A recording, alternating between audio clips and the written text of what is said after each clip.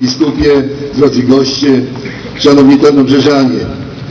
Patriotyzm, ojczyzna to słowa tak ważne dla tych, którzy 92 lata temu wywalczyli i budowali niepodległą.